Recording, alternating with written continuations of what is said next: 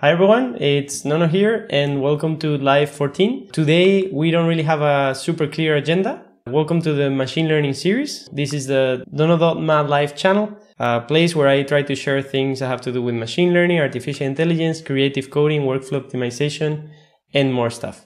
You can uh, like this video if you would like to keep seeing this type of content over the next weeks.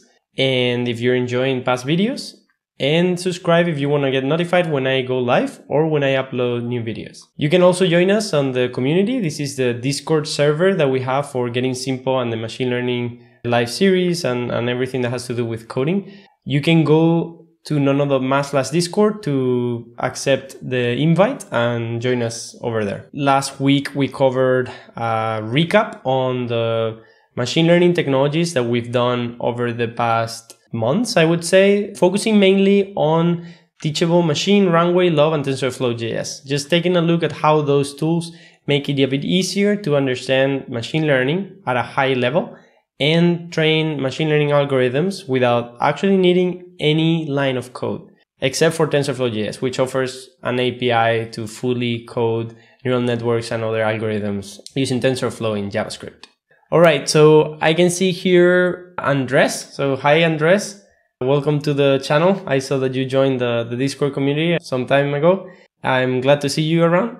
And Pedro, nice to see you again. I know that, that you know, over the break has been a bit hard to, to be around. And John Mark, I cannot do anything with that. If you're cooking, maybe just watch the recording later. But yeah, thanks everyone for being around the, the gist of now is we don't really have a, a, clear agenda and i would like to hear from you before we get started what things are you intending to learn with this live stream or what things you would like to see next. I just wanted to show web technologies that i have been using on my own to build websites and build web apps that interact with machine learning apps or with other libraries. Over the last weeks i've been building this document that, that you can see here in which I haven't yet shared. So I, I need to, I have some homework to do to share this document so you guys can browse through it and just look at the notes and look at the links and things like that. For each live stream, we've been covering different topics. And today, as I said, is not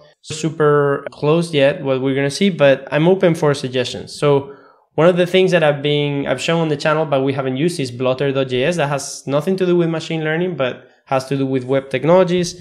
Another thing that I've mentioned and I want to take a look at here is Laravel. So this is how to build a, a simple website. Laravel is a framework to build websites in PHP in some way similar to what you can do or a tiny functionality of Laravel allows you to do what you can do with Node.js Express, but it has a lot more tools to build and deploy uh, Laravel apps, which are can be applications on your computer.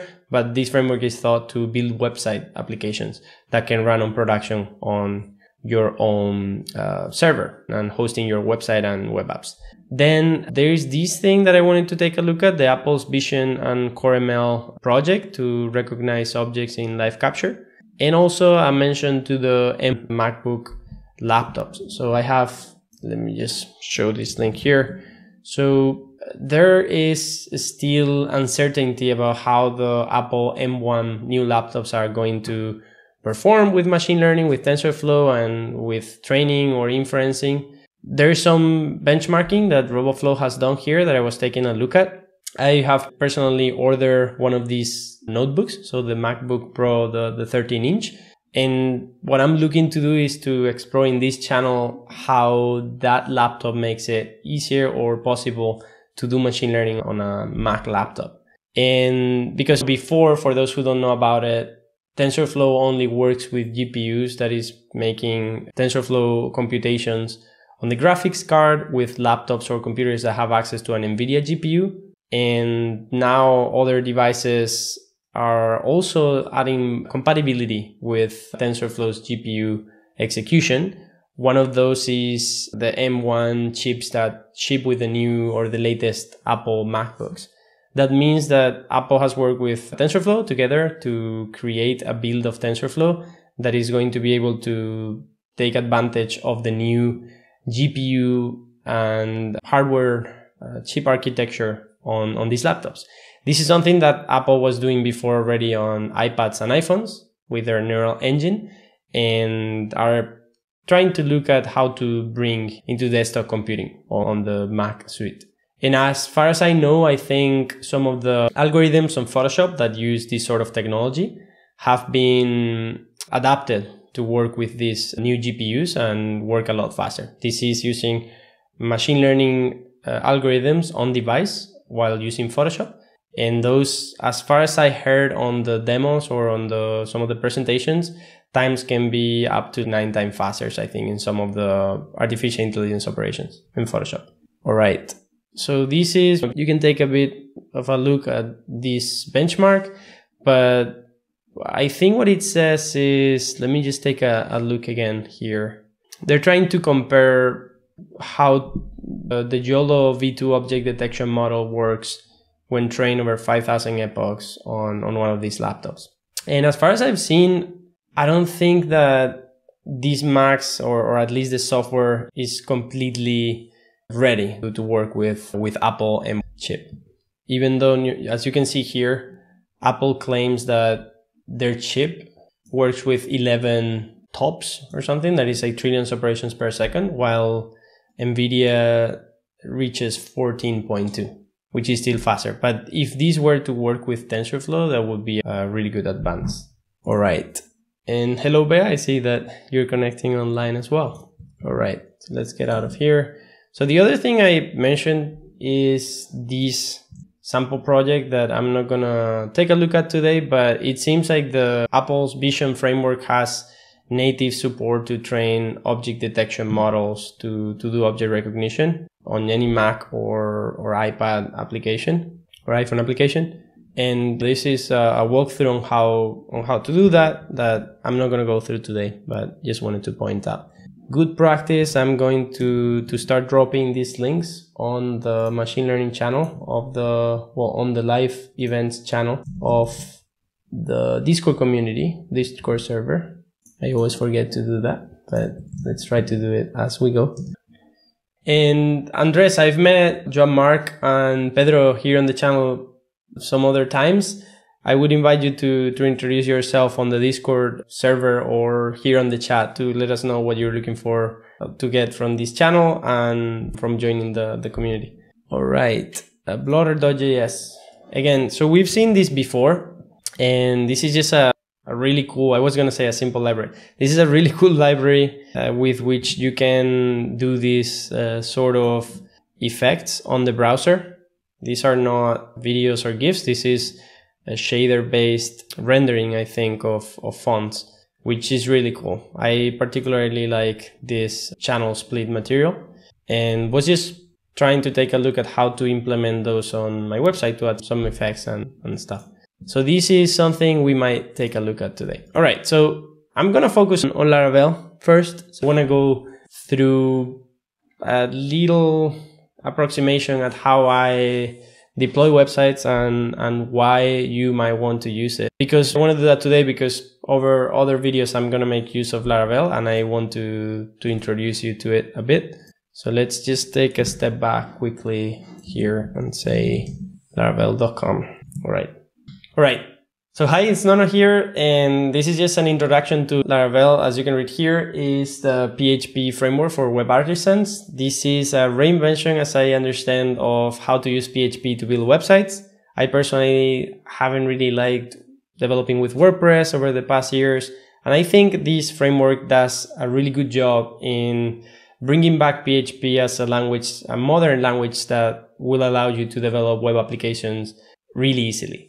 So this library doesn't only give you things like routing for free. It gives you things like authentication, database management, eloquent ORM that allows you to interact with the database in really clever ways of querying it, passport, and many other things. So if you go into the documentation here at the top, you can see there is a guide on uh, how to get started or what Laravel is. So if you go here to why Laravel, you can see an explanation that they believe that Laravel is the best choice for building modern full stack web applications. So when they refer to web applications here, you have to understand that you can build a website with many different technologies, such as just HTML5 and JavaScript and CSS. just with plain files. But these um, sort of frameworks allow you to build them in a way that is a lot more sustainable, maintainable, and reusable, and a lot easier to build and maintain over time. It's, you're not taking the first step into web development and all of its functionality. You can just start with a few things and then uh, keep growing with many different things. For senior developers, I haven't used any of the, almost any of this yet, or, or any of this yet, actually, and I've been using Laravel for a while. They have dependency injection, unit testing queues, and real-time events. There is a lot of stuff that you can do with Laravel. But if we go to, to the basics, right, you can see here that they offer routing for free, which is just creating the different pages on your site and serving some content to them. We're going to see that today. Middleware, you can add code that executes before a request is served to the user. CSRF protection, which is a safety measure to make sure that hackers are not doing exploits on your website and sending data in a malicious way. Controllers to make routing a bit easier when you have a lot of code that has to do with something that you can pack in one file logic. Requests, which is uh, also a, a, way to make web requests to other APIs and parse the, the responses. Responses to be able to return something, different types of responses on when you're um, returning from a route. Views, which are the, the actual things that you render on the page. Blade templates. Blade is a syntax, a templating syntax that makes it a lot easier to write um, web views that use PHP and other logic. URL generation, sessions, so they automatically manage user sessions and variables on the session. You can clean them, you, uh, you can clear the cache, or you can store variables, or you can load uh, user session by authenticating the user, validation, error handling, logging. And if you dig deeper, you can also see the artisan console. You can build uh, console commands using PHP, broadcasting to send messages to a lot of people who are subscribed to a service, cache, collections, contracts, events, file storage, a lot of good APIs for file storage using S3 or DigitalOcean or local disks, helper functions to make it easier to use PHP, an HTTP client to make requests, localization to make it really easy to translate your application, mail to be able to send create mailable views and send email to your customers or notification to yourself on your application using Amazon SES, AWS, or, or other services, notifications, package development to create your own plugins, or this is like a NPM packages for PHP, queues, task scheduling, which is awesome if you want to do like recurring backups or other things. For database, they have a lot of uh, really cool stuff as well. As I mentioned, query building before, Eloquent ORM, and, and many other things. All right. So with all of this, I didn't really want to throw a bunch of terms to you, but this is a summary of, of what Laravel is in the abstract. So we haven't really seen anything. Now let's get to code and actually show how to how you would start by building a Laravel website completely from scratch. And maybe today and other days we can uh, continue growing a bit of this knowledge so you guys get a bit of an understanding of what this is useful for. Also, as a pointer, so you have it in mind if I mention it, there is this page here, DigitalOcean, that is the one that I use to to host my websites. So if you go, for example, to, to gettingsimple.com or nono.ma or sketch.nono.ma, these websites load really fast. As a debugging mechanism, I have here how many seconds or milliseconds takes to load these different pages is something that you cannot see if you visit publicly, but they load really fast. And if I click from one to the other, content is really fast. And I'm serving images with something called imgix. We won't talk about that today. So all of this is hosted and more things on DigitalOcean. So DigitalOcean is a platform to host your, your web applications and they offer a few other services like storage and other like cloud VPN, video streaming hosting, many different things. This is what I use, but today we're going to use a local analog of these things. So you have a web server and today what we're going to see is like this URL here that says nono.test, right? This is something that my computer is mapping to a local folder. So if I click here, you can see that I have a version of my website that is not actually my website. It's just a copy of my website and a copy here in, in this case, an older copy of my website's database. So if I go to nono.ma, you can see that today I published this thing is the latest thing I published and this one after that. There's no content here after October 13, which is nono.test. It's the, the local copy of my website. All right, how does this work and what technologies am I using here? I'm using something called Laravel Valet to serve the website application locally on my machine. And we're going to see that in a second. All right, so let's get started with coding. If I am to do, let's start from the very, very beginning. So if I make here a website, I'm just creating a folder, an empty folder that's called web. And I could here, I could add files. So I can enter that folder and I can create a file. So for instance, I can do an index HTML file, some base HTML code. Actually, let's not add all this code here yet. So maybe just say, this is my website and save. So this file gets created, an index.html file. And if I double click, this opens up in here, right? So this is my website. That's all we've done so far. It's an empty HTML website. We don't really have any CSS, any other code, anything, but I could start adding things like HTML tags here. So I could put this inside of my website. So let's say we actually create some HTML structure by hand and we make this maybe a header. Right, so now we update, we have the header, we can keep editing. This is my paragraph. All right, and then that's working, right? This would be a way which in which we can build a website by hand, right? Manually, and I could even add CSS styling here. So we could say that every font on my site is gonna have color, let's say Coral, and the font family is going to be uh, System UI, San Francisco. So this changes the typeface, the text, and if I open the console, so let's say we open the console here, we can even, and we've seen this also on, on the TensorFlow.js tutorial, we saw an introduction to TensorFlow.js. We can see here that we can write code. So for example, this is printing and if we reload, you see here we are console logging that text and we could even add things, any other code that we want. So we could add here something like define my variable. So like a, a function that adds two numbers and returns a plus b.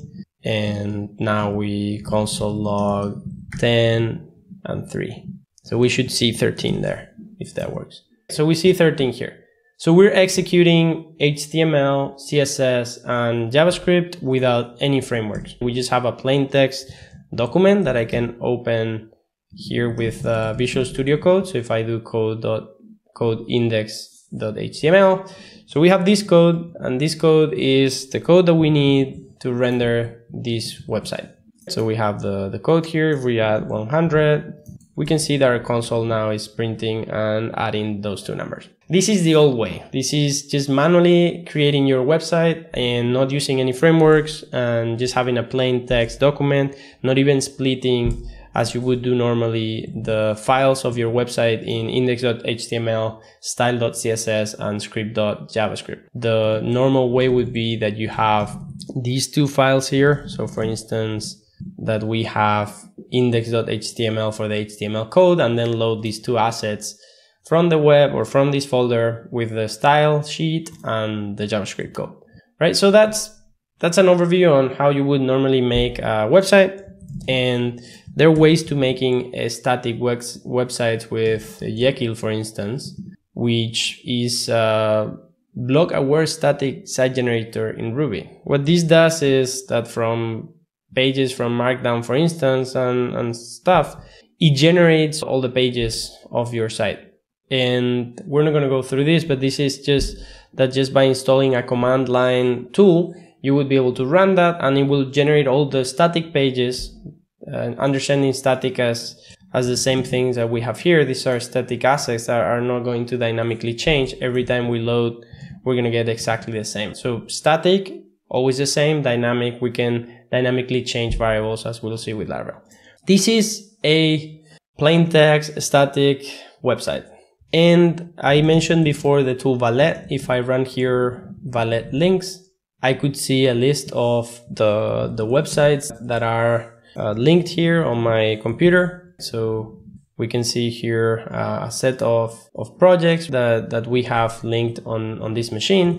And we could link this site. So if we do Valet link here, what it does is that it creates a symbolic link to to this folder, right? That if I go here, it's at users, Nono, desktop web. And if I list the files, I have indexed HTML, script.js, and style CSS. All right. So if I go now to web.test, this is loading the files from the folder that we were loading this website before. And if we put the, the console below us, you can see there that we're printing exactly the same. The same code is executing, right? What this means is that Laravel Valet is going to load any web files that are under this folder on the user's Nono desktop web when we type web.test. And we could do valet and link web or unlink because we're on this folder and we will remove the symlink. So this URL now, if we update, there's nothing found there. And we could also link to a custom URL. So for example, no dash live, and then that links us to nono dash live dot test, right? So this is prototyping our machine and having this URL load the contents of a given folder. That's it. But there is also engines on the background to be able to, to allow to execute this PHP application. A lot of theory there. Long story short, we're going to unlink the Nono Live here and link again just to have the web.test URL as we had before. Now this disappears, but this one keeps working. All right, and now we're going to go and see how to create a new Laravel app, right? Now we're not gonna have anything there because the folder is empty. And if we go to the laravel.com website, we're gonna see how to start a new project from scratch. Mac OS, this is to install the installer, but we want to do it with Composer. So Composer, so getcomposer.org. Composer is the dependency manager for PHP. If you're familiar with Node.js, npm is the de facto uh, package manager for Node modules. And if I look here for something like FS, you can see that the npm packages you could look for here and, and download if you go to Composer, you could uh, browse the packages as well in packages. So for example, Folio is a package that I maintain myself. Many packages out there. I use many packages from other people. All right. So this command, Composer, create project Laravel, and then the name of your app creates an empty application that you can uh, start uh, using right away. Hi, Chandra. I see that, that you're joining us today. Thanks for joining. And I'm gonna do that now in here. So I'm gonna go to my desktop. So I have the, the web folder. So I'm gonna remove the, the web folder for now. And we're going to do composer, create project. I think that we'll prefer distribution. I don't think we need to do that now.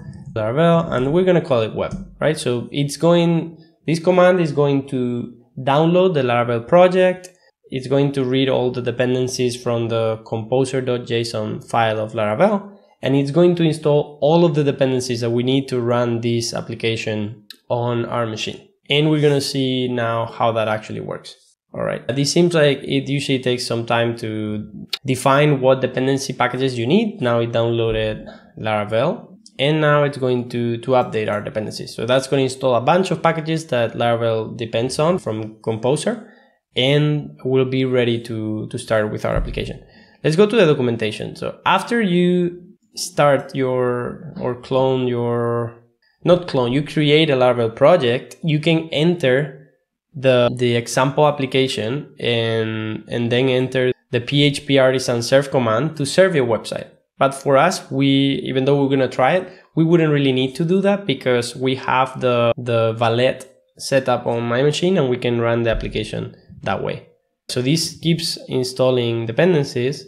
global composer. I don't know if we're gonna have to generate the key manually or if this generates automatically or not, but let's see. All right, so it seems like this keeps installing and we're probably gonna finish soon. All right, So now we have this application ready so we can, and, and we can see that the application actually generated a key. We missed that part, but if you scroll back, you can see that it said application key generated successfully. If you didn't, you can do this thing, run this command inside of the folder that we created the application. So we have the application here. We can do that application key set successfully. If we do artisan PHP artisan serve, this is going to give us a URL where this is going to be served. So this URL here is loading our website and it's going to show the same contents that if we go to the web.test domain. For me, I think Laravel Valet makes it really easy because uh, we can use these short uh, domains instead of using these uh, complicated URLs. And you can personalize them. For example, I have a, a version of Getting Simple on on my computer and I have this Nono clone as well here on the computer. All right. So now we have, just to recap, now we have a web app running on our own uh, computer that, as I said before, we could deploy to the cloud and we could have running. If we have, if we know how to set it up, we could put it on GitHub and get it running in minutes, or maybe get another another setup on DigitalOcean. So there is something to do that, there is something called Ocean LEMP. There is something called LEMP, which is a stack of tools. It's, I don't really know what it stands for, but I know that, what does it stand for? Not sure, but it's a stack of tools that implies that you have Linux, Nginx, MySQL, and PHP. And yeah, the E, I don't really know what it stands for. I know that LAMP is Linux, Apache, MySQL, and PHP, but in LEMP, the E probably stands for Nginx. So this is a stack of tools that you need to have on your machine to be able to run an application like the one we're running. If I run here brew services list, because I'm running these services on my machine with Homebrew, you can see that we're going to get listed PHP, MySQL, PHP, MyAdmin, and Nginx. So we have here MySQL, Nginx, PHP, and PHP, MyAdmin. I don't have that here, but because it's not really running as a service. It's just running as a PHP app. But I can go here into my local phpMyAdmin installation and I can browse through databases and see the databases of the of the different websites that we have there. All right. With that brief comment, we now have a web application or on our own machine and we're going to, to, to run the code dot command on that very same folder. What that does is that, let me just close and open Visual Studio Code.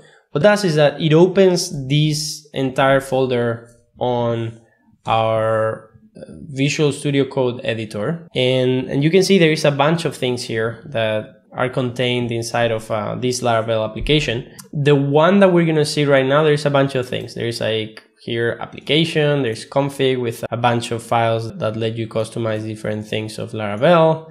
There are here inside of app, there are models. So you can define your object oriented models in PHP, console commands you can add. I'm not going to go into detail into this right now, but what I I am going to show you is that on the composer.json file, you're defining here your dependencies as you do on the package.json file inside of Node.js and require-dev here are all development uh, dependencies. So things that you wouldn't install in production, but you want to install locally or when in a development environment to be able to inspect errors and debug things on your application more comfortably. The environment file, this is something that never gets committed to GitHub because it contains sensitive information like my app key. For instance, this is something that would uh, compromise some of the security of your application if you share it with others. And the same goes for your username and database password and other things like AWS keys and secrets and other information about the services that you have to connect to. So it's good to have them here and then using this syntax, so environment app name and then falling back to a default, you can get the value from the environment file or fall back to a default.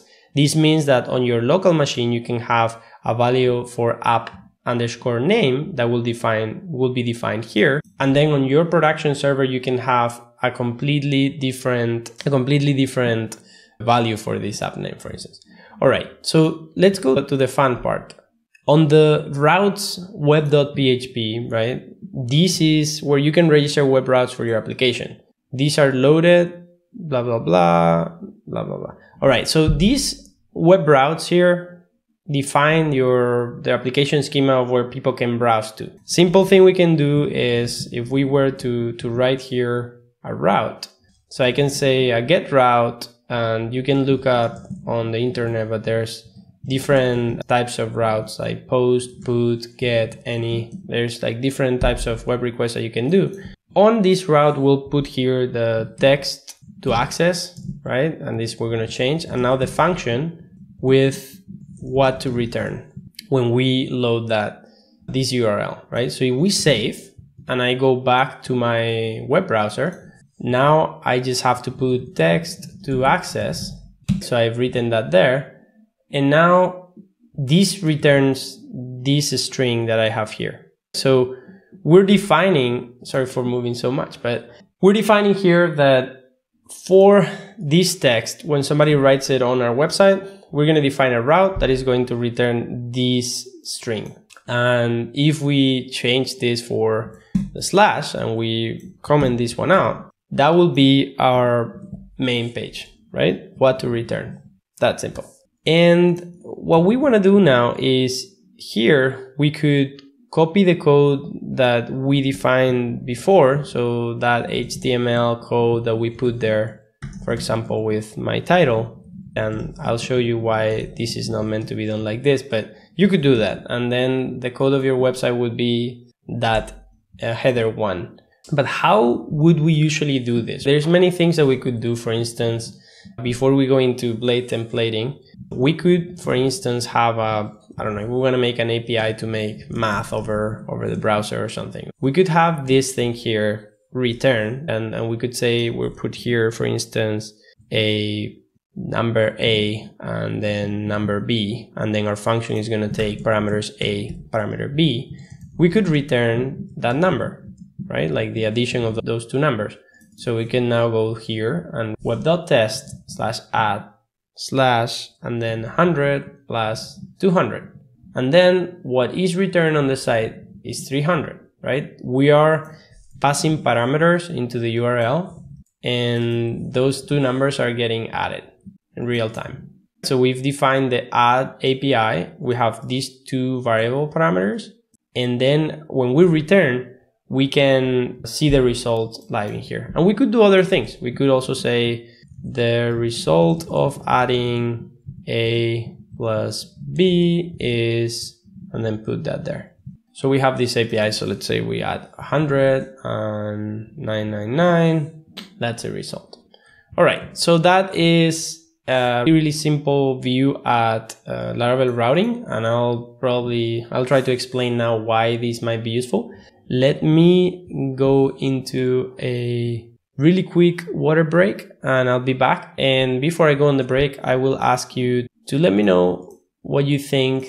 If this is something that seems like it's going to be interesting for you to learn or not, I think it's going to be useful for us going forward and looking into some of the other things. I'll be back in, in a quick second. Hello everyone and hello, I'm glad that you joined. We are taking a quick look today at Laravel as an introduction because we're going to be using it over uh, the next weeks or I don't know over this year to to build some of the web apps that we're going to do with machine learning and with some of the interactive applications that we are going to be looking at here. So we were just to do a quick recap, we were building a simple API get route here that we call add just to add two numbers over a, a web application right? So here we've added this text, but as we had it before, we could just simply return the result of this addition here. So we add, for instance, 10,010, right? So we're just adding those two numbers here. And we could we could add other APIs here. Let's say we call them multiply or mul and then subtract. And we just need to to change the, the symbols here and try that. Multiply works and subtract works as well. All right. Hi Suje also. Welcome to the to the stream. Glad to see you around. And yeah, so that's that's just a quick look at routes. So we're gonna remove these ones here. And one thing that you would do, then this is the thing that usually you don't return a string here, even though you can you can define variables here and do things like this here in PHP, and you can, for instance, put a paragraph here and print your text. So let's say we're gonna put here name, space, and then year, right? So we could do this and when we load the, the website, we can see that that's loading properly. I forgot to add a space here. But this is not the way to do these things either. So what we will do is that we will serve a view, right? So we will serve a view to that URL. So we will return a view and then we have to put the name of our view. So let's say we put live view or something. If we run here, this is gonna tell us that live view is not found. And uh, the, all we need to do is go to resources, views, and then click on new file and then call this liveview.php. And now we can just say hello. So we're just adding code here and we can copy the code that we had here before and paste it. So we have that there and, and we're just putting our, our code in here. You will ask why these things don't work and stuff, but the gist of this is that we can we can add a file here where we can add words, so a string, and we can also add PHP code. And with this PHP code, we could even use a variable. So we could say name, which doesn't exist, so it's just gonna complain. But from the route, we could say view and now we could pass an array with data so same name live stream. And then now we we're putting a variable there so we could do something like this. Hello live stream. And this that we're passing as the name could even be a variable. So we could pass that you know we could make another route here where we for instance passed the name on the url as a parameter so here we have hello name and we're passing the variable name as the name to the view.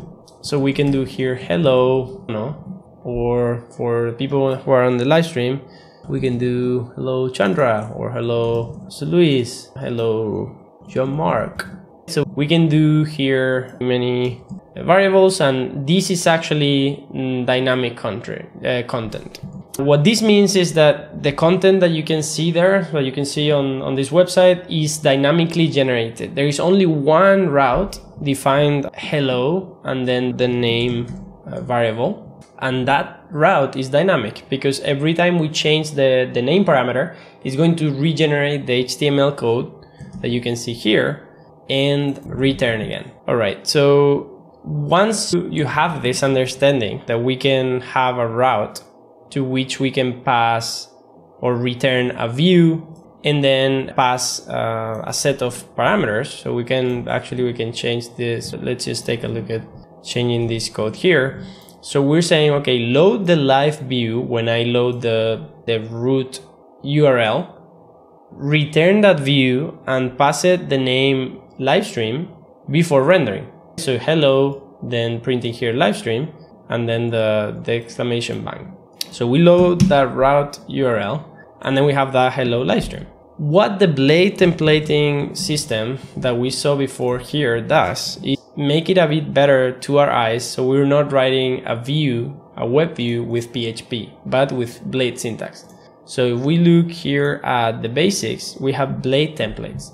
And these blade templates are a powerful template engine that is included with Laravel and unlike some PHP en engines, Blade does not restrict you from using plain PHP code in your templates. That means that you can add PHP or Blade syntax interchangeably wherever you want on the same view.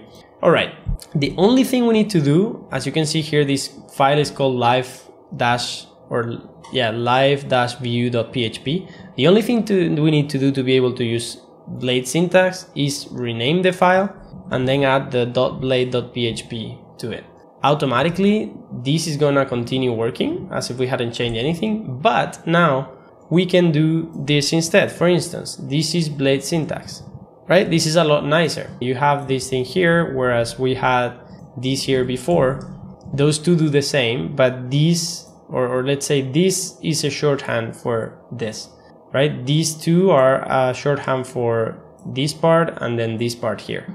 So we're gonna get rid of that one so we can comment that out. That's uh, the way that Blade comments code. And now we just get this one here. As I said before, we could, there are many nice things that Blade lets us do. And let me just, one second. So what I wanted to say before, you can now, and, and once you have the proper extensions, Visual Studio Code makes it really easy to write our views. So I can type HTML and then tab, and I'm not sure.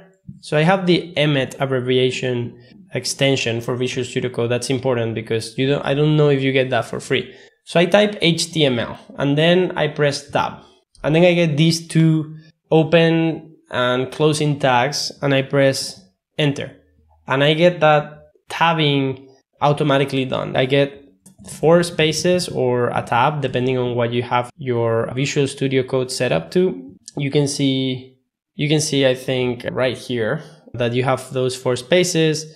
But if I were to click here, I could select and say using spaces or how many spaces you want or use tabs to indent. So let's go back. So I do HTML tab, then press enter. I don't know if I can do directly the enter.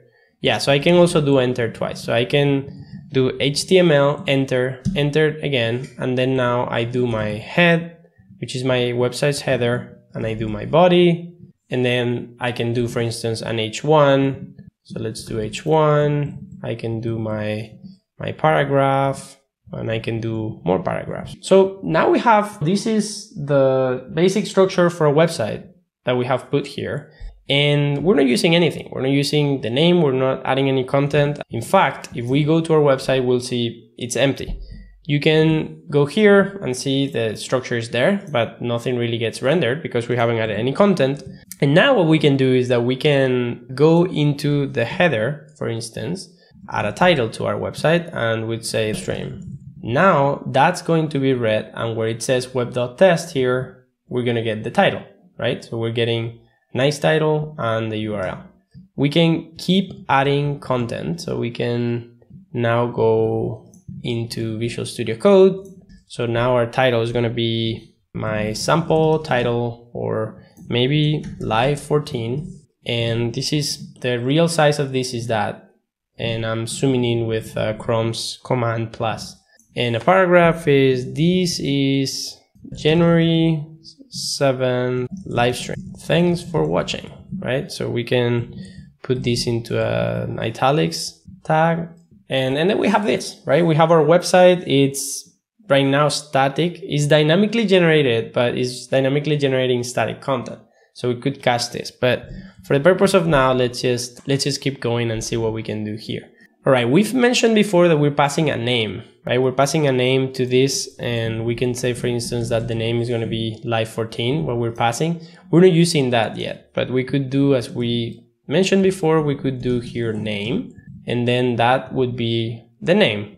We're not seeing anything, but that's what's happening. We could also use the name here for the title and maybe add that symbol. And now we're getting that on the title as we change the name variable, so we go here and now we change, let's say for next week, live 15, then these changes and these changes here as well. So we're passing variable.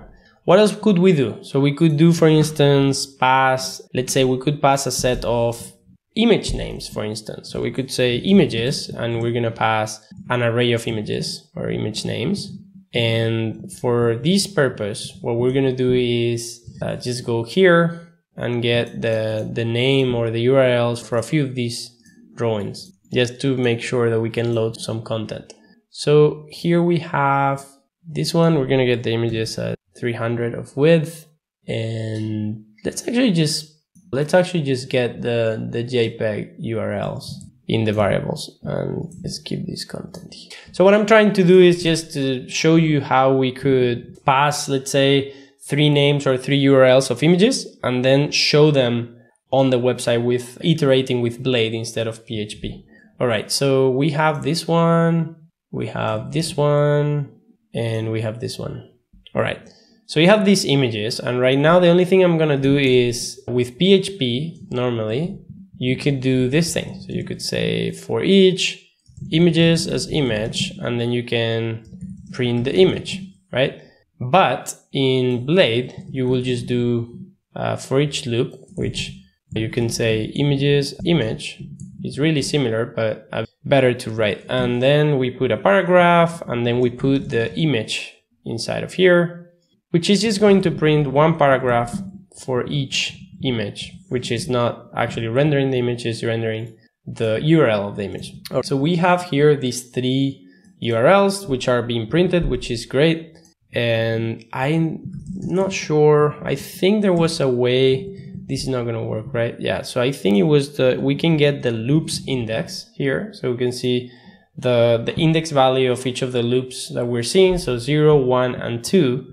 And you can do things like adding one if you want to show, okay, one, two, and three. You're already uh, given some things here in the loop for free. So for instance, let me see, I think I can do, I'm not sure if I can do this, even. Yeah, okay. You see, even is one for this one because it's number uh, two. So this is odd, even, odd, even. And you know, if we get more items, we will see that even, odd, even, odd. And that way that could serve if you're building a table. You could say, for instance, if loop is if and if, we could make this bold and then we'll have to close that. We're going to make bold only the URLs that are even, right? The 2, 4, 6, 8, etc., etc. So right now we don't really care about that, so I'm going to take it out to simplify the code.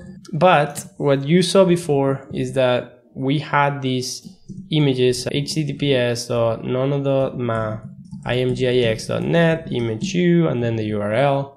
And then at the end, I had this formatting code to make the images smaller. So we have that code there. We're going to remove the loop code and we're going to simply do this, right? So we have that full URL. And if I get any of these URLs, I'm going to get that image. So now uh, all I have to do is change this uh, paragraph tag for an image tag and get this as the URL. So we could say, all right, so we have now we could write here our PHP code and say this is going to be my URL, which we don't need to, to write blade here. So we can just simply do this. And now that we're doing that, first let's try that the URL value is good. Yeah, so that's working in the same way. And now we are going to, instead of having a p tag or a paragraph tag, we're going to create an image tag with that URL as the source. And then on the alt, we could add something, but we're not gonna add. Actually, let's just add the image name and that's it. So we now have these images here that are being rendered at 300 pixels of width. And we have this definition of the image with these URL parameters here. And I could change this size now to 150 and it will change over all of them. This is a, simple technique. So let's actually make the images 300 pixel wide and the actual image that we're loading 600 to make them have a bit more resolution. All right, and we're gonna just leave the three initial images that we had before. All right, so far we've just been passing values to a route that we were coding and making sure that we can display a set of images that we're passing as, as images on, or image URLs and doing a for loop here to make sure that for each of those URLs we construct, so for each of those image names, we construct their URL and then we show the image on, on screen. So we could, you could do pixels there or whatever. All right. For purposes of, of this, we could, let's say, brightness to, I don't know, the, yeah, okay. Yeah, so IMGIX, we can add parameters to the URL to, to modify this like brightness of the image or like sharpness or other things. One thing that you can see here is, let me see. Let's say if we, for instance, just do PHP block here and just say uh, params, we're just going to use the numbers uh, 1, 3, oh no, 4, 4.2, 6, 6.7, 6.9, for instance. So we could add another for each loop here. So say end for each, and then use these, this param here for the brightness. So I think if brightness is one, we just get the, the normal brightness. And what we're going to do here is brightness is going to be 1 multiplied by part 1 minus 1 multiplied by part. All right. Yeah. So you can see the only thing we're doing here is, and this is failing for some reason. So maybe we need to, I don't really know how to do this here. Yeah. Okay. So this is just a sample here, but the thing is we're doing a, for loop or a for each loop inside of another for each loop, and we're passing variables from the routes into the, the view and then uh, using those. So I could now add one more image to my parameters. So here, so to my variables of the view, reload that, and then we'll have that new image uh, there as well. So we have a dynamic variable in there. All right. And maybe we just add here uh, jump and we just get that there. All right. So let's make a, a recap, right? Like we could also add styling here that we haven't added. And we could say, as we did before, for everything, font family is going to be system UI and font size is going to be one rem, which probably is the same. Font family and we're gonna make this font size 1.3 all right to yeah. And now we're just gonna do this like that. That's it.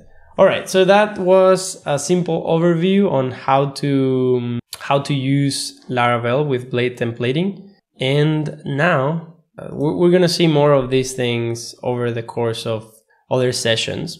But i hope that was a good introduction. This is something that if we, for instance, go here and uh, were to create different pages, right, like manually, which you wouldn't really do, but let's just try it. So diskette, for instance, or, or disk, right? So we just leave here this and we say, okay, the name of this page is disk and the URL is disk.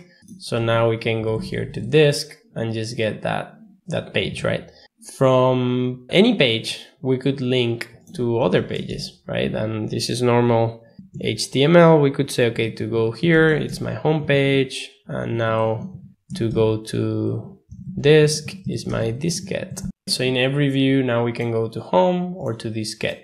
We've created like a menu bar on our website. Be basic and and we could add this to to the cloud. I'm going to quickly show you. Just going to log into something here. All right. So I have a, an experimental server here that is simply the same thing that we have here on my local machine, but on the web. So for those of you who are connected online, if you want to try it, I have this sample project page, laravel.com, which you can go and see this here. And I have a Laravel application that is live and is running and I can go to my, if I click on here, I can go to my routes web PHP file and see all the routes that are in there. And I could quickly add a new route. So I could click quickly add here down to the bottom, route get live function. I'm connected to this server machine through SSH. That's a protocol that allows us to connect with the command line to the command line of the Linux server that is running these websites. So this is my function and I define it here. And let's say I return hello live live stream. We can, so now if I go to laravel.com slash live, you can see that this URL works. And if any of you that are watching this live want to go, you can try laravel.com slash live and you'll be able to see this, this content on your machine because we're actually editing a route that is running on the web, not on my local machine. So go ahead and try it and let me know if that works. Just out of curiosity, I'm gonna remove that in, in a few seconds. So this, if you want to try it, the moment is now. So git checkout uh, routes web. If I run this, that URL will disappear. So let me know when you have tried and I'll go ahead and, and run that command to remove that. All right. So we have covered a bit of Laravel. Uh, I just wanted to take a look now at Laravel TensorFlow.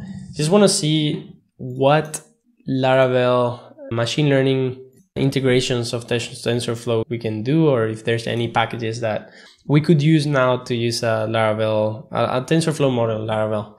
Right, nothing here. Symfony process. Yes, it works. Cool. Yeah, thanks. Thanks for testing. And one thing you can do, blah, blah, blah. Yeah, so now what I'm trying to do is if we look at Express, I think I have a an Express tutorial. So Node.js, HTTP. Um, let me see. Not that one. So I have this video here, which I won't I won't really play right now. But this video that you can see here shows how to do something really similar, like create get routes and post routes and things like that on Node.js using Express. This is something that that I mentioned uh, before. And it's really similar. It's just that that only gives you that. Laravel gives us a lot more stuff that we're going to be able to, um, to use over the course of many other uh, live streams. So I'll post this, uh, a link to this video on the Discord channel. All right, cool. So let me see. All right, so let's remove that route that I created from there and that should not work anymore. So laravel.com slash live returns that website doesn't exist. Okay, blah, blah, blah. So it doesn't seem like there might be that many packages. PHP ML, machine learning for PHP packages. Let's look at the packages. TensorFlow serving PHP client. This is an experimental binding to TensorFlow. Okay, so this is the one we just looked at. Widgets and useful stuff to use TensorFlow JS on G. TensorFlow server client for gRPC, highly efficient, easy to use neural network, organizer. Okay, yeah, so there's not a lot of stuff that we can do at the moment there, but uh, the important part that of why we looked at this is that now we could go into the, the live repo that we have with examples from classifying from ResNet, for instance, and we could just simply copy all this code into one of our views. So let's say I uh, and th this is this is important. This is where everything wraps up. Why am I showing you all of this? We could create an application, and I'm gonna delete all of this now. Where, for instance, if I put here, so what is this? This is ResNet. So TFJS ResNet, for instance, we could do a function. Well, and one more thing, there is a shorthand for what we did before to return the view, where if we do this URL, so TFJS ResNet, and we can map it directly to a view. So for example, TFJS ResNet, right? This is exactly the same as if we were to do something like TFJS ResNet, and then return view TFJS ResNet. What is the difference? The difference is that this one doesn't really have any parameters. This one doesn't have any parameters, right? And this one doesn't either. But here we could maybe create here date, maybe make a, a, new date or something, and then pass here parameter, pass the date to the view. But if we don't need any variables, at least for now, it's easier to just go here to our views, tfjs resnet.blade.php, and then we can paste this code. So what happens now is that all the code that we did last week, so now we can go to web test or let's actually change the, the URL. So if we go to our Valet links that we saw before and visualize all these links, we can see that we have here the, the web link to web.test and this. So I can do Valet and link and now Valet link live. So I choose the name of the link that I want. So now web.test doesn't work anymore because we gotta go to live.test, which is not found. So we've deleted the base route. So we can do route get function and then just return, I don't know, Nono.ma live stream. And then that's there. So now we go to that route that we just created, tfjs slash resnet, and what we can see is exactly the, the code that we did last time. So we're serving the, this is a bit frozen. This was a bit frozen because it was pulling the, the ResNet model from the internet. So here we load ResNet 50 and then we predict with a random input and then we get the output tensor. This is where we left it in live 11. Uh, we didn't really get to input uh, an image from disk or from our machine or anything. But that's something that is really interesting that, that we should get to do. And maybe we could do that by loading the image directly with Laravel in PHP and then passing it to, JS, to JavaScript or by just drag and dropping the image into, into. All right. Do you guys have any questions? So I'm going to take another quick break and, and come back. Maybe we end up early or maybe we take a look at blotter.js. Let me know if you have any specific questions, anything you want to take a look at or just any comments. And if you're watching this offline, feel free to leave your comments on the video comments. I'll reply later and are looking forward to your comments. Hello. Okay, we're back. So we have uh, just seen this overview that I hope that helps us move forward a bit faster on, over the next weeks. This is just one option to deploying websites. As we saw in another live streams, we could also have used Glitch. It's another way to, to create websites really quickly.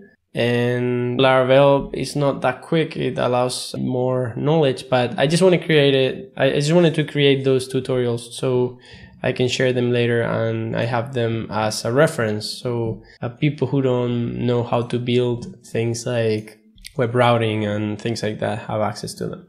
Okay, so what we could do on Glitch is that we could also copy and paste that code. So we could copy all the code, uh, CSS and the reference to the JavaScript included here. And we could go and see uh, preview. So let's save this. And now we're going to open this a new window and open the console quickly. This is here on this Mirage Humble Jasper automated URL generated by Glitch. And we can execute and run this here as well. There are nice things that we can do if we use Laravel and mainly or mostly host those applications in production. And yeah, if you go to this page, um, you can actually execute this right now. So I can even open this, let's say on an incognito window, go, and then this is public. This is loading ResNet, and now it's going to do the prediction. So yeah, we can expect to see more of that over the next weeks. What else is here? All right, let's actually make a, a sample glitch test with hello web page. I'm gonna change this to blotter. Does that show blotter? Okay, that was free, not something that anyone had used before. So I'm just gonna go with that and right here blotter.js and let's see if blotter.js is available on a CDN and it is. So we're gonna copy that the URL, copy script tag, which is even better. So we're just gonna load here the library. Cool.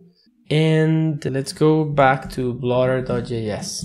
All right, before we go, just to make sure we have some content from this live stream. So we are going to add a slides here, right? Blotter and maybe even a video capture of this.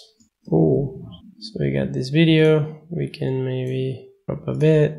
Okay. Okay, so for some context, I'm just trying to prepare a few slides to make a proper tutorial on Blotter and, and just try it out. And we're gonna go here, we're gonna go there, we're going to get this video to MP4. We're going to open live and tutorial talks. And this MP4 is nine times smaller than the MOV correspondent. All right, so we go here, we're just gonna add this here and we're going to so we got that and now we get the materials okay blotter materials and now we have this thing here okay let's get started Okay, so do I have control here? Hi everyone, it's Nono here and we're gonna briefly see what Blotter.js is and how to use it on your own website.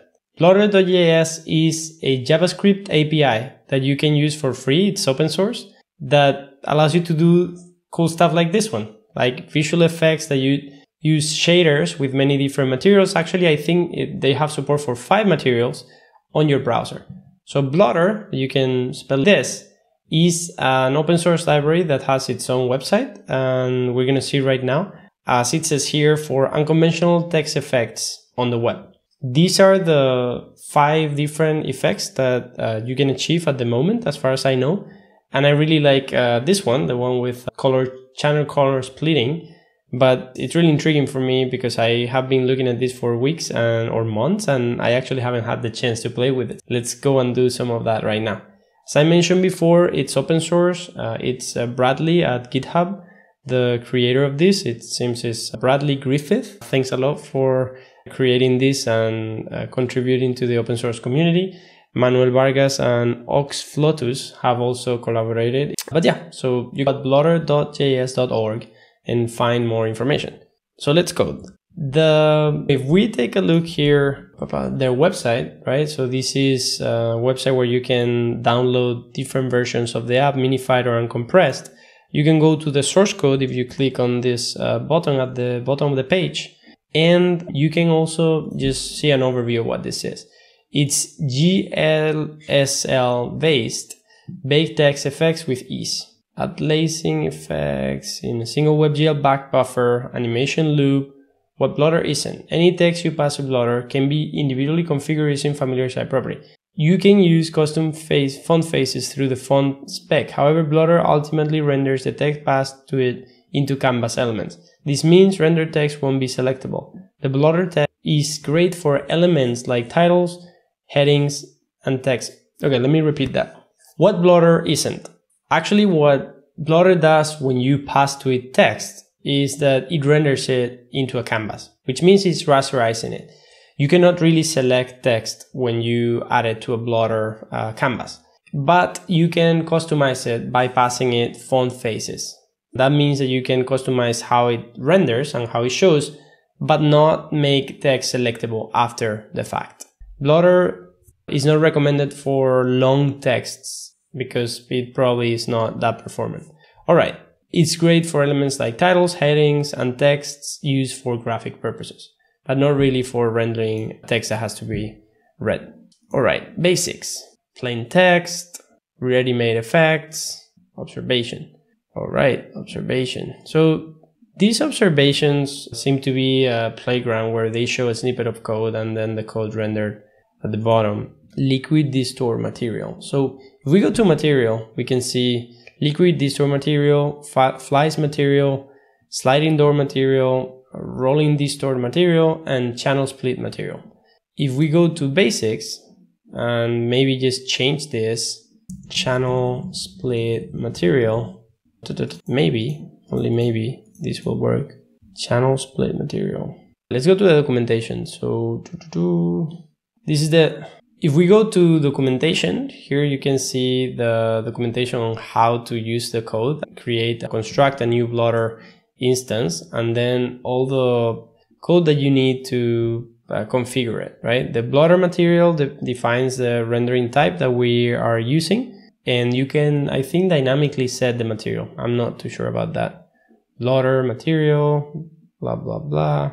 All right, a lot of stuff here. All right, so let's actually get coding and uh, go. So right now here I have an empty glitch app. So I just called it blotter and put it at blotter.glitch.me. So you might be able to visit that as well. I came here into a, a CDN. So this is a place where we can just use the assets as J's JavaScript directly. So we can copy either the URL and get the URL of the library minified or copy the tag. So this is the HTML tag that we need to paste here for Blotter to be loaded on our website. So if we reload this thing, we can see that Blotter is actually being loaded on our website. All right, so our web app is loading and we can actually have this uh, split view that will uh, show the preview uh, right above me of what we're coding and we can hide this side thing that we don't really need even though we could write our code in here, the blotter code. All right, so let's close this and this, and let's make sure that we have the documentation. Maybe we can use one of these uh, basic text. So div id plain text, so we can write here our div, so hide there. Let's change this is our first try at blotter.js. So we put a div here. So we have to go to here and our div is going to be to the use ID my text. All right. So we have the JavaScript code here that we're going to write under this item. So we're going to, let's see how I can do this so you can see everything. Okay. So let's just write the code here. So we have Okay, so our text is going to be a new blotter.text instance. We're going to call it uh, sample and we're going to pass to it the properties here for what we want it to be rendered with. So it's going to be here, we're going to want inter and system UI. For the size, we're going to put 20. For the fill, we're going to put, let's say, red for now. All right, so we have our text variable defined. The material is going to be new blotter material. Blotter, our instance, is actually going to be a blotter instance with this material and then text is going to be text. The element, we're going to get document, get element by ID, text, var scope, blotter for text. Scope, append, to element. That's sample. Now that we're here, we can change this text to nono.ma live and the color to gray. And now if we change this material to liquid distort material, for instance, we can see from the list of materials here, there is this liquid distort material. This won't work. Why won't this work? Because we have to load that uh, material as a separate JavaScript file. So for instance, we have this one here, liquid distort material, we copy the script tag, and now we go to the index.html, we load that file here, and then when we reload this uh, URL or see this preview here, we can see that, that this is working, right?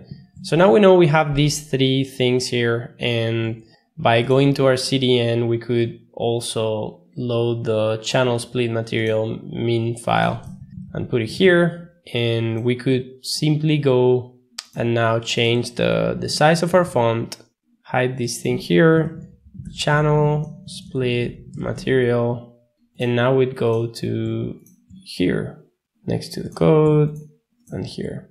So now we have this thing here that if we zoom in, we see it pixelates, it's noisy because we have there is there is some grain to it. And it's actually waiting for us to to change and interact with it.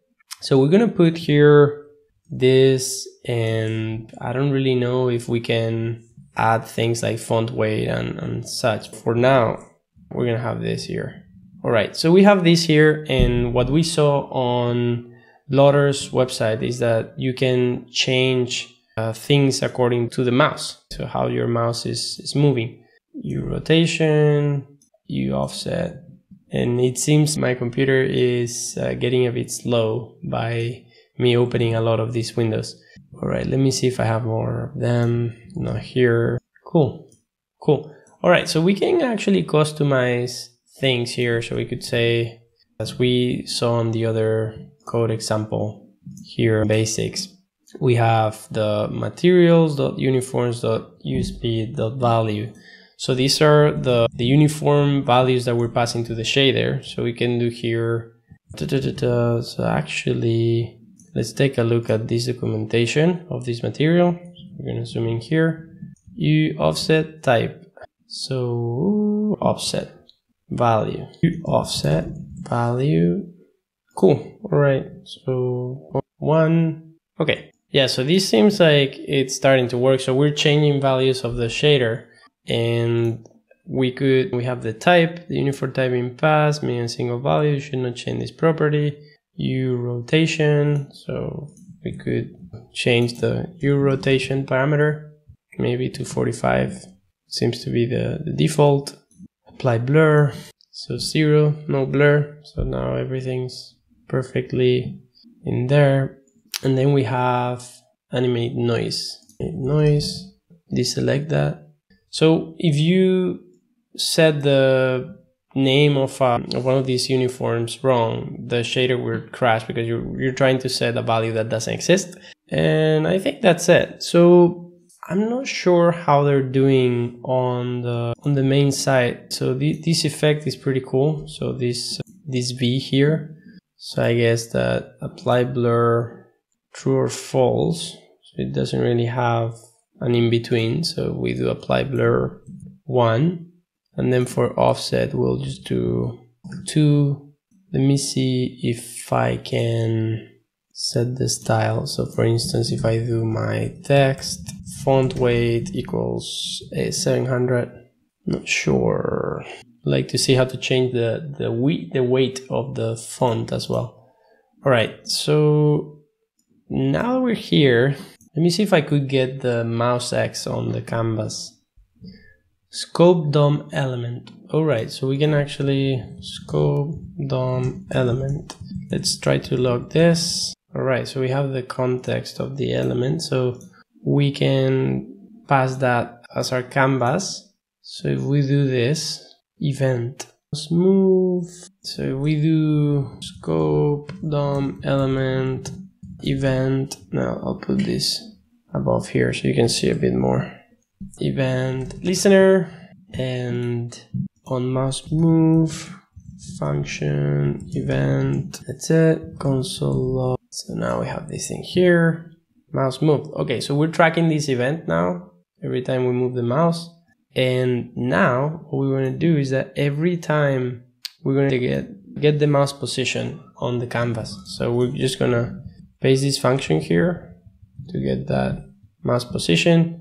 And we just get the the position equals get mouse position with scope dot element and the event that we're passing. And we console log our position. Once again cool. Now we're getting now we're getting somewhere. So cool. Now we can see here that we go from 400 to 0, from 400 to 0. And what we're going to do is change. So let's say our offset is going to be 400 divided by 400. So the position x, already know what, yeah, position x divided 400. So we will get 400, it's 1 and 0. All right, so let's try now to do material uniforms u offset equal uh, value equals offset. Let's see what happens. Nice. All right. Seems like it's working somehow. So we are going to multiply that. So math value and I want to make that minus 200 cool. And we could actually because now the the y-axis is not doing anything really. So we could actually do something on the um, we'll close this one. On the y-axis so right now let me see. What can you see right now? Okay cool. We're getting close. Getting close to, to finishing this up. So this is here. So let's just put a simpler text here. And I want to see that when I'm on the middle, so let's say that x is going to be now 50 and y is going to be 50 maybe. So we want to do here x divided 2 and here's x and we'll do that. Oh, I see. So this is not really... Alright, so I think that's it. The only thing I would say is if I can do scope DOM element with. So yeah, I can get these ones here to make this work a bit better. Yeah, so this is, yeah, and probably what we wanted to do is just the distance. Okay, let's calculate the distance. So we have um, 0, 0, the math square root of math power of position x to 2 o of position y 2. Alright, it seems I got to it finally. So yeah, so now by distance to the center point, we were changing the, this is all gradual. Cool. Let me see lastly if I can put this to be entire, so position, absolute, at top zero, right.